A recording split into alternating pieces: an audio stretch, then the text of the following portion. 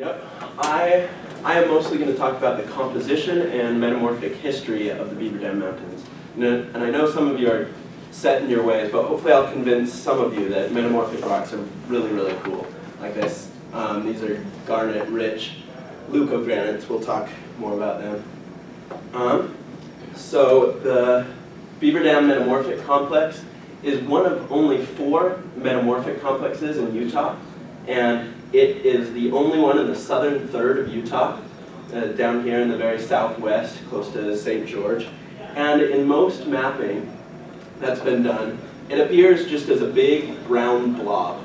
So, and we have, there's a lot of stuff going on in there, so the first thing that needs to be done is classifying the composition of the rocks.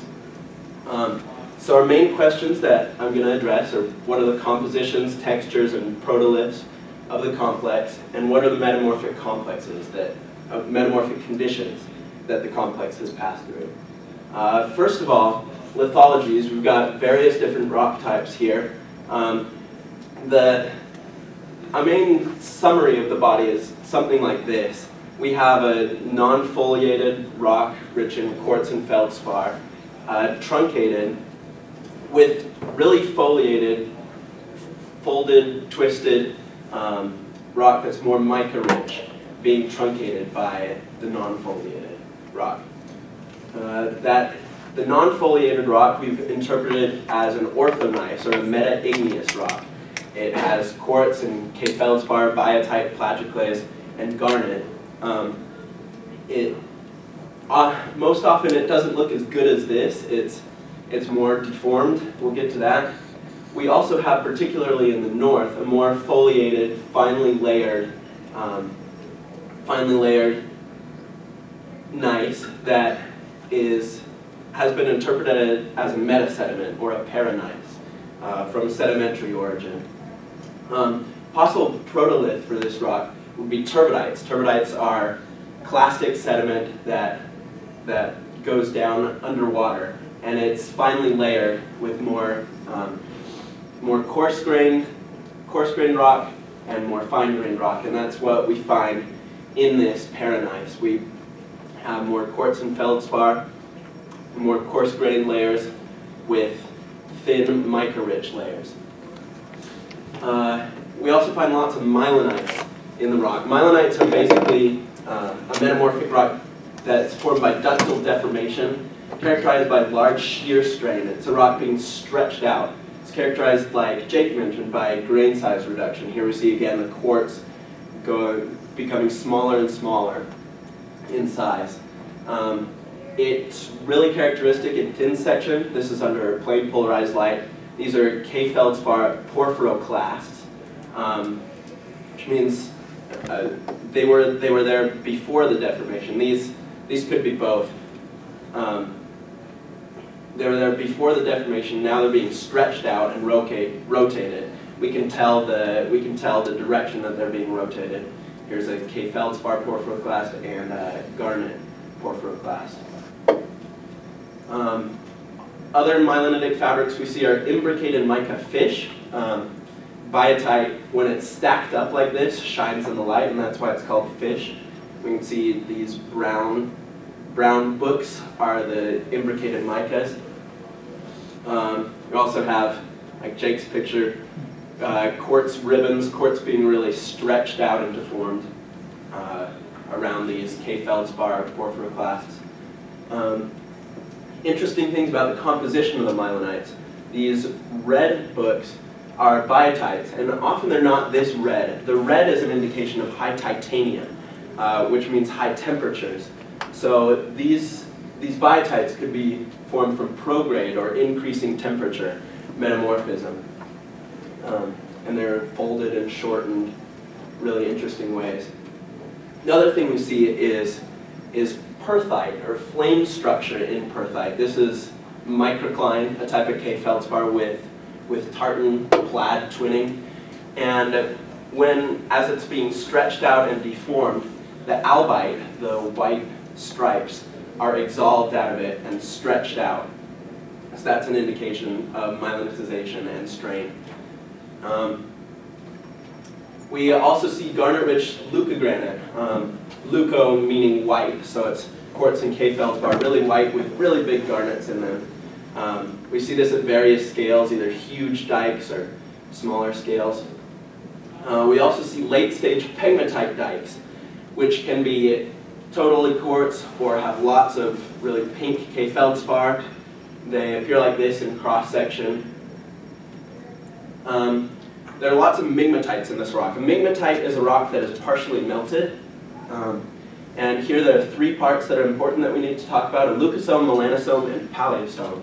Leucosome is the part of the rock that melts. It's leuco, meaning light in color, because the more felsic material, lower temperature minerals, melt first. The melanosome is the dark stuff, what's left behind from the melt, and the paleosome has been unaffected um, by the melt.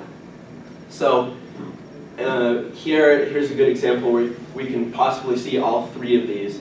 The lighter blobs would be the leucosomes, what's melted. The black would be the melanosome, and the other stuff hasn't been affected, uh, the paleosome. There are lots of examples of, of migmatites at various scales. Sometimes it can be hard to tell what's, what is a migmatite, what rock has been partially melted, and what hasn't, what are just dikes coming from another place. So a good principle to remember is the smaller the dike is, the closer its source has to be. So if we have really tiny little dikes running through, then we know the source has to be really close. And so if you see tiny little dikes, then that's, that's nearly a guarantee that, um, that the rock is a migmatite. Other examples, with these tiny dikes, we really um, are nearly sure that this is a migmatite. See good leucosomes, and melanosomes here. The amphibolite that we found also shows good evidence for leucosomes, small little dikes, and melanosomes that the, the rock rich in amphibole, or hornblende, is what, uh, is what is being left behind by the mill. More evidence of this is seen in photomicrographs under the microscope. Here we could be seeing a transitional, a transitional phase where we have lots, the green and browns are amphiboles, the lighter colors are K feldspars, there, there's some little quartz grains too. So this could be as ev evidence, restitic fabric means um, what's being pulled out of the melt. We, here we have good evidence of melt extraction, that the, the more felsic materials are being melted away, and eventually it will turn into something like this. This is over 90% amphibole, the blues and browns.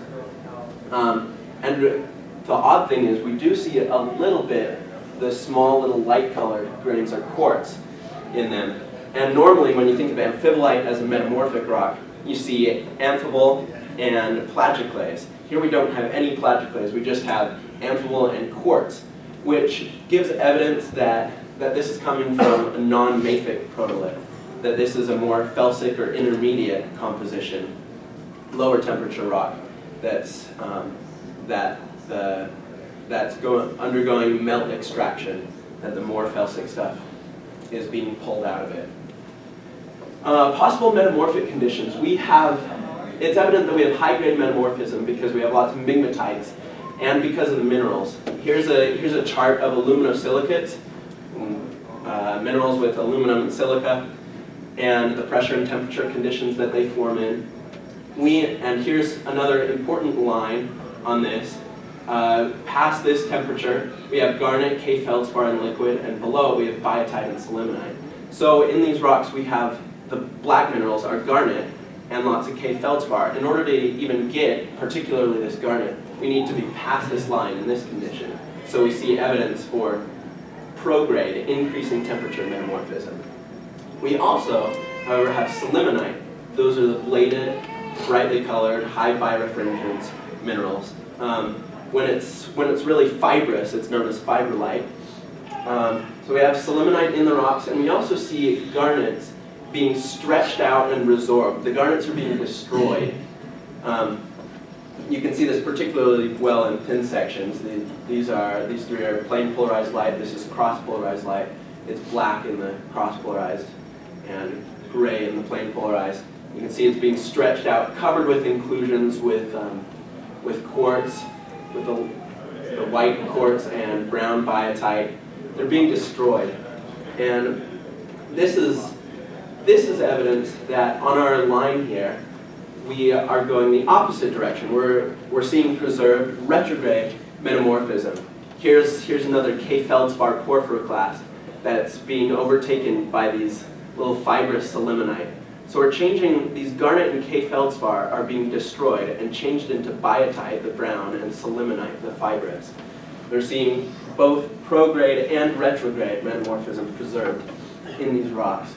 Uh, the final thing that we see in some of the areas uh, is a metasomatic due to hydrothermal fluids, low temperature metamorphism known as skarn.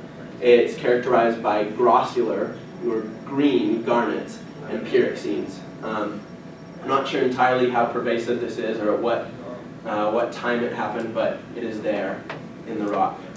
So, those are my findings. Any questions?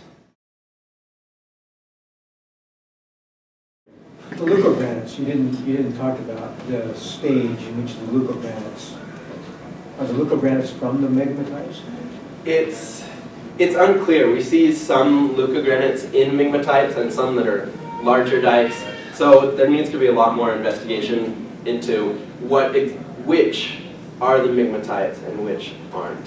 Are the leucogranites as deformed as the migmatites? No, not usually.